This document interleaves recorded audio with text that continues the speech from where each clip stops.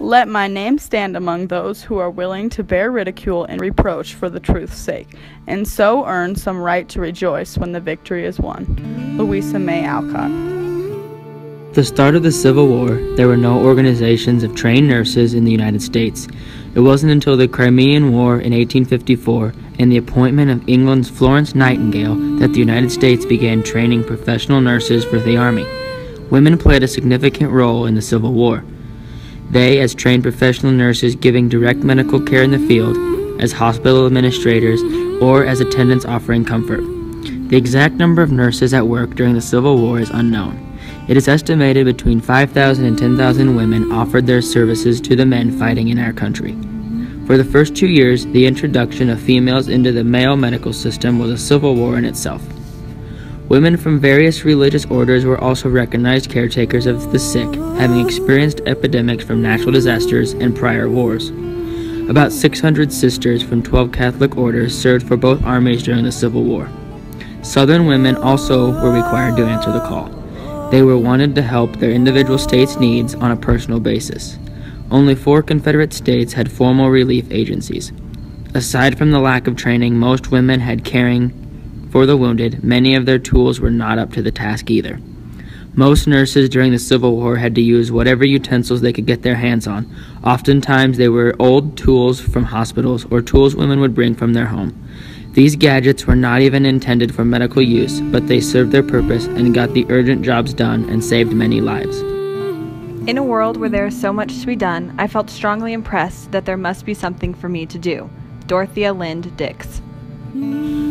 Dorothea Lynde Dix dedicated her life to improving the conditions of people in prisons, poorhouses, and the mental institutions volunteered for service and paved the way for all other women wanting to give their time to the Civil War fighters.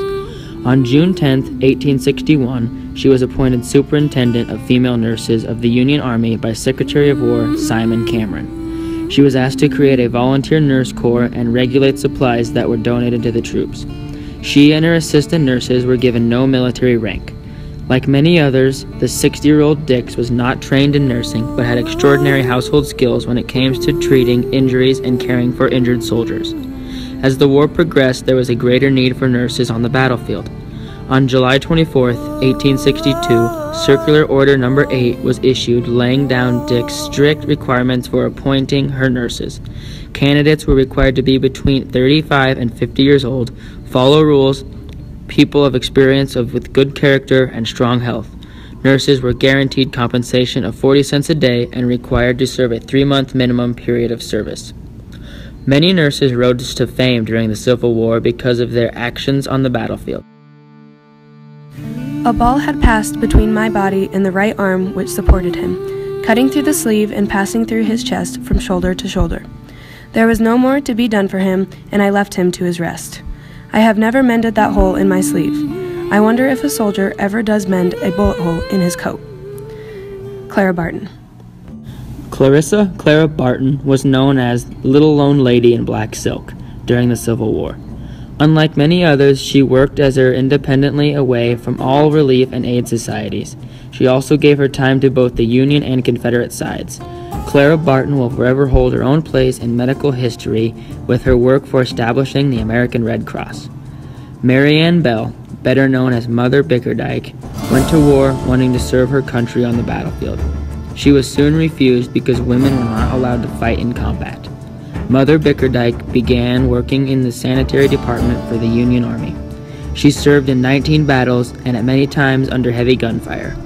After battles, Mary Ball would often walk the battlefields at night looking for anyone still clinging to life. December 1862. On the 11th, I received a note from Miss H. M. Stevenson telling me to start for Georgetown the next day to fill a place in the Union Hotel Hospital. Mrs. Ropes of Boston was matron, and Miss Kendall of Plymouth was a nurse there, and though a hard place, help was needed. I was ready, and when my commander said march, I marched, packed my trunk, and reported in B that same evening. Journal entry from Louisa May Alcott.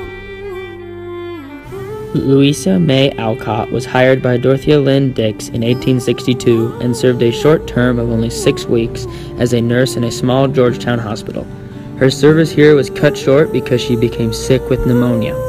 During her illness, Alcott began compiling all of her writings describing the war into a children's book that was later published. The American Civil War was fought over a span of five years from 1861 to 1865, and it is estimated 620,000 American men and boys were killed. Even though this was the bloodiest war in American history, many more casualties could have been recorded if it wasn't for the courageous help of many American women. The nurses of the battlefield saved numerous lives. Many people do not give them the credit they deserve for their selfless acts. These women may not have fought in head to head combat, but their lives were always in danger because they were saving lives on the front lines. Many of these women wrote their own page in American medical history.